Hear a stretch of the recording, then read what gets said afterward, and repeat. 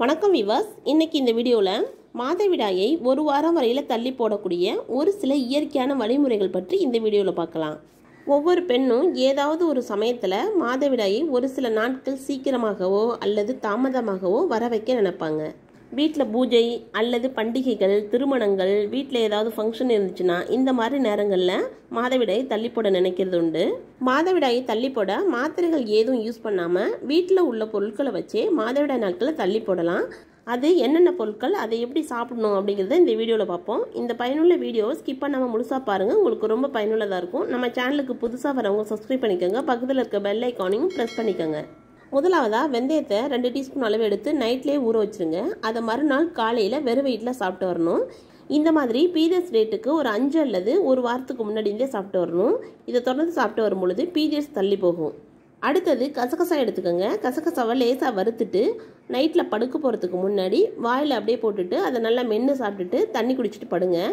இந்த கசகசாவை பீரியட்ஸ் டேட்டுக்கு ஒரு நாலு நாளைக்கு முன்னாடி இருந்தே சாப்பிட்டு வரலாம். இது மாதிரி நம்ம தொடர்ந்து சாப்பிட்டு வரும்பொழுது பீரியட்ஸை ஒரு வாரம் வரையில் தள்ளி போடலாம். அடுத்ததாக புழுங்கல் அரிசியை வெறும் வானிலையில் போட்டு நல்லா வறுத்துக்கோங்க. வறுத்துட்டு ஒரு டப்பாவில் வச்சுக்கிட்டு பீரியட்ஸ் டேட்டுக்கு ஒரு நாலு அல்லது அஞ்சு நாளைக்கு முன்னாடியிலேருந்து ஒரு கைப்பிடி அளவு டெய்லி சாப்பிட்டு வரலாம். அல்லது ரெண்டு அல்லது மூணு வேளை கூட சாப்பிடலாம். அந்த பீரியட்ஸ் டேட்டுக்கு ஒரு நாலு அல்லது அஞ்சு நாள் வரைக்கும் சாப்பிட்லாம். அதுக்கப்புறம் நம்ம அதை தொடர்ந்து சாப்பிடக்கூடாது. சில பேருக்கு இதை மலத்தை கட்டும். மலச்சிக்கல் பிரச்சனை இல்லாதவங்க இதை சாப்பிடுங்க. ஆனால் இந்த வறுத்த புழுங்கலரிசியை சாப்பிடும் பொழுது கட்டாயமாக ஒரு வாரம் வரையில் பீரியட்ஸை தள்ளி போடும். அடுத்தது பொட்டுக்கடலையை பீரியட்ஸ் டேட்டுக்கு அஞ்சு நாள் அல்லது ஒரு வாரத்துக்கு முன்னாடியிலேருந்து ஒரு கைப்பிடி அளவு ரெண்டு வேளை சாப்பிட்டு வரும் பொழுது கட்டாயமாக பீரியட்ஸை தள்ளி போக செய்யும்.